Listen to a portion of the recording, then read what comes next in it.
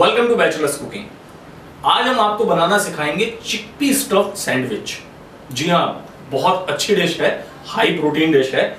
तो इसके लिए क्या करना है? एक स्टफिंग तैयार करनी है। लेकिन स्टफिंग तैयार करने के पहले हमें क्या करना था, जो हमने कर लिया है, कि ये जो काबुली चने होते हैं, या छोले जिसको कहते हैं, इनको रात भर भिगो के रखा। उसके बाद कुकर में तीन चार विसल आने तक अच्छी तरह से पका लिया है। अब इसकी हम एक प्रॉपर स्टफिंग तैयार करेंगे, फिर उससे सैंडविच बनाएँगे। तो चलिए बनाना शुरू करते हैं। तो चलिए सबसे पहले डालते हैं इसमें लगभग एक से दो चम्मच तेल डाल दें आप। और तेल को गर्म होने दें। थोड़ा सा फैला लें इसको चारों तरफ़। तो तेल हमने डाल लिया है। अब इसमें हम सबसे पहले डालेंगे लगभग आधा चम्मच जीरा। थोड़ा सा जीरा को पकने दें जब आपका जीरा पक जाए, उसके बाद हमें इसमें डालनी है एक मीडियम साइज़ की अनियन। इसको पिंक होने तक ही पकाना है, ब्राउन नहीं करना है। साथ ही इसमें डाल दें आप स्वाद अनुसार एक हरी मिर्च मैंने डाल दी है। आप अगर ज़्यादा तीखा पसंद करते हैं तो ज़्यादा हरी मिर्च भी डाल सकते हैं। और इसके साथ ही इसमें डाल देंगे लगभग एक चम्मच जिंजर गार्लिक पेस्ट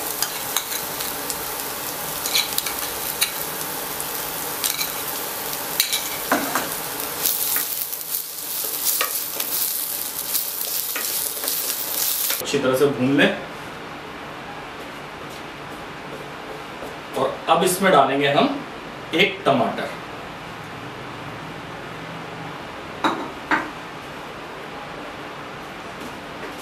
टमाटर डालने के बाद अब हम इसमें ऐड करेंगे कुछ ड्राई मसाले। सबसे पहले ले लें हल्दी, लगभग आधा चम्मच हल्दी,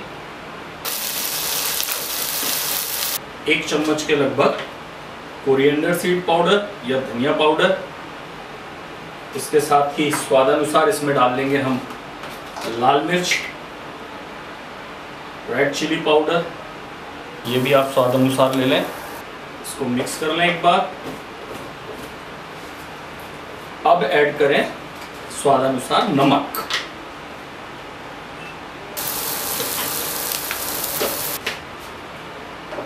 थोड़ा सा पका लें मसालों को।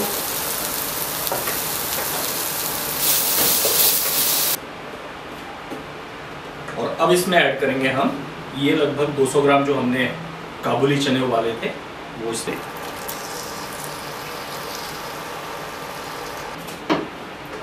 इनको अच्छी तरह से भून लें।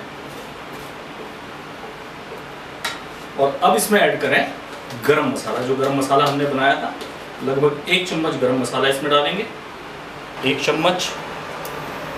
और गरम मसाला जो है, आखिरी में ही डालना है, ताकि उसका जो फ्रेशनेस है, वो बनी रहती है। इसको अच्छी तरह से मिक्स कर लें। और इसके बाद इसको ढककर लगभग एक मिनट के लिए पका लें, ताकि छोले में जो एक्स्ट्रा पानी है वो सूख जाए और हमारे सूखे छोले तैयार हो जाए।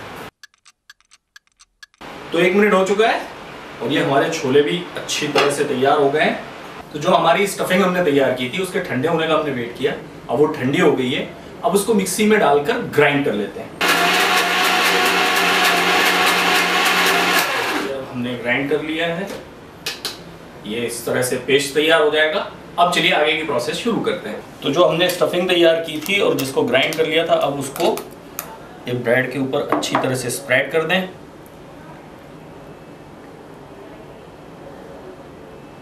और इसके बाद इसमें डालें थोड़े से प्याज ऊपर से और साथ ही डालें थोड़ी सी धनिया पत्ती। जो स्टफिंग है वो बीच में ही ज़्यादा रखनी है, चारों तरफ़ नहीं फैलानी है, क्योंकि जब हम ब्रेड दूसरी रखेंगे उसके ऊपर और उसको प्रेस करेंगे तो वो चारों तरफ़ फैल जाएगी प्लस टोस्टर में जब पकेगी तब भी वो चारों तरफ़ फैल जाएगी। तो हल्का सा बस इसको प्रेस कर लें।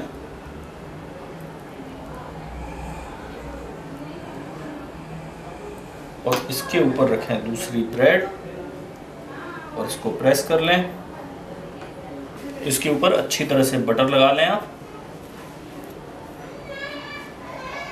दोनों तरफ़ लगा लें। जिस साइड में आपने बटर लगाया है, उस साइड को उल्टा करके रखना है टोस्टर के अंदर। तो इसको रखें इस तरह से और इस तरफ़ भी बटर लगा लें। और इसके बाद टोस्टर करें बंद।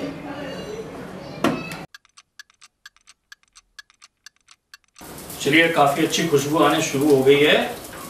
और ये हमारा चिकपी सैंडविच एकदम तैयार है। इसको निकाल लें और इसको सर्व करेंगे।